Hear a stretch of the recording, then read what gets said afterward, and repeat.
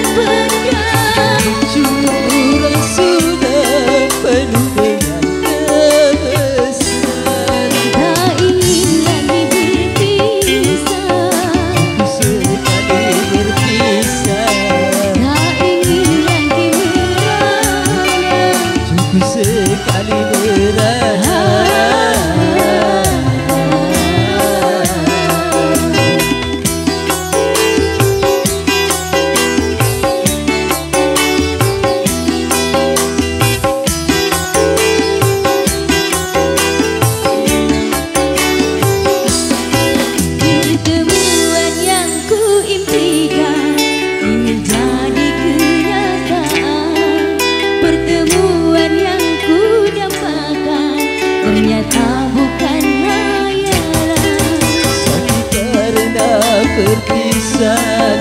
Ini telah terbati Kebahagiaan yang hilang ini kembali lagi Bertemu dengan